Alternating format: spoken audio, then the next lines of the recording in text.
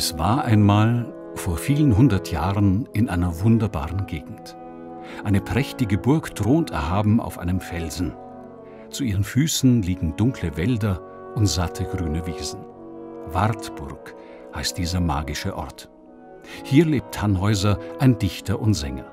Er nimmt an Gesangswettbewerben teil, aber eines schönen Tages macht er sich auf und davon an einen geheimnisvollen Ort. Eine Höhle voller Zauber und Magie. Bläuliches Licht schimmert darin, ein smaragdgrüner Wasserfall stürzt wildschäumend herab und überall tummeln sich Nymphen, Faune, Satyren, Grazien, Amoretten. Die Herrscherin dieser Zaubergrotte, das ist Venus.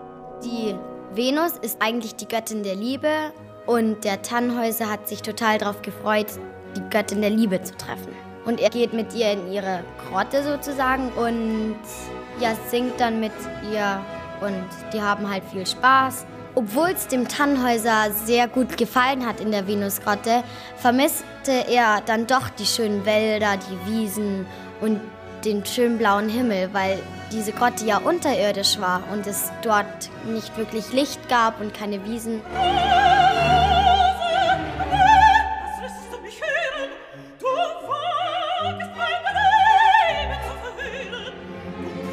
Tannhäuser will wieder gehen, aber als er das Venus erzählt, wird sie sehr wütend.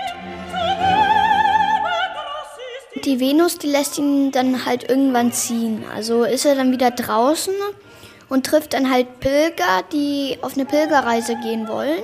Diese Pilger wandern zu Fuß nach Rom.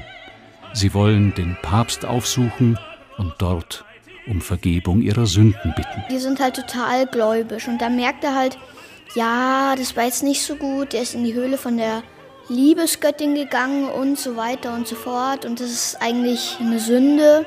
Und dann wird er halt so eine Art gläubisch und betet die ganze Zeit und bereut es. Dann trifft er halt seine Freunde und die fragen ihn dann, ob er wieder zurückkommen will und der Tannhäuser, der will das eigentlich nicht so wirklich.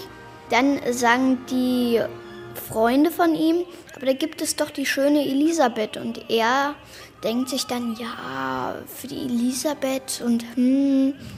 Und dann geht er halt doch zurück auf die Burg. Da trifft er dann die Elisabeth wieder und beide freuen sich halt total. Elisabeth ist eine schöne, kluge und fromme Frau. Tannhäuser hat schon lange ein Auge auf sie. Sein Herz schlägt hoch, wenn er die schöne Elisabeth sieht oder nur an sie denkt. Andersherum ist es genauso.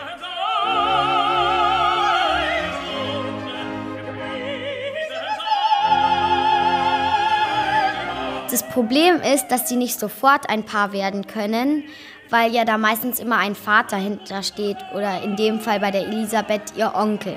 Früher war es den Frauen nicht erlaubt, ihren zukünftigen Ehemann selbst auszuwählen. Der Vater oder der Onkel hat den passenden Mann bestimmt. Bei Elisabeth war es der Onkel.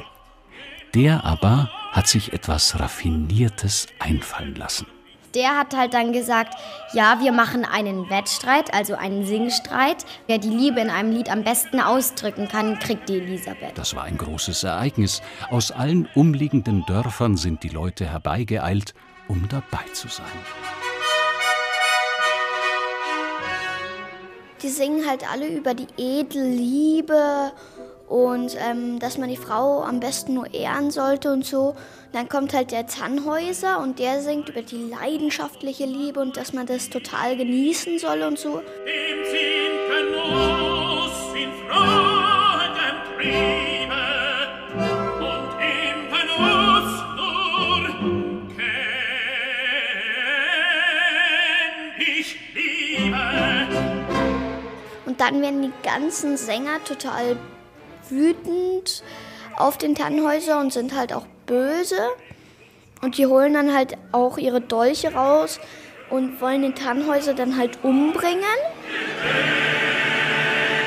Und dann, wenn alle kämpfen und den Tannhäuser umbringen wollen, springt die Elisabeth rein und sagt, nein, ihr dürft den Tannhäuser nicht umbringen, sondern lasst ihn leben und lasst ihn weiter singen.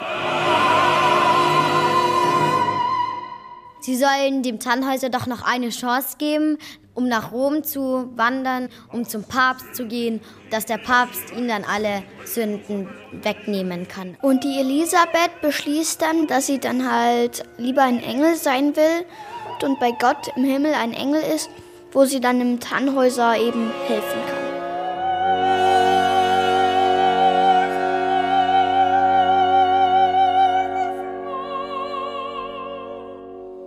Dann kommt halt der Tannhäuser aus Rom zurück und ähm, dann trifft er halt wieder einen Freund von ihm und dann sagt er, ja, alles okay und dann meint halt der Tannhäuser, nee, er war jetzt in Rom und der Papst hat ihm halt nicht vergeben.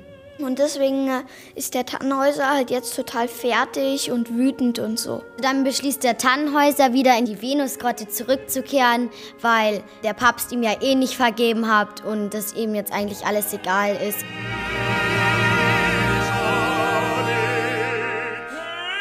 Aber sein Freund Wolfram ist ihm gefolgt und hat ihn überredet, auf keinen Fall in die Venusgrotte zurückzukehren. Zuerst ist Tannhäuser dickköpfig und will nicht auf Wolfram hören. Dann hat Wolfram eine Idee. Er erinnert Tannhäuser an die schöne Elisabeth. Und das wirkt. Tannhäuser kommt zur Vernunft und spürt wieder die echte Liebe in seinem Herzen für Elisabeth. Tannhäuser verlässt die Venusgrotte für immer. Und auch der Göttin Venus selbst kehrt er ein für allemal den Rücken.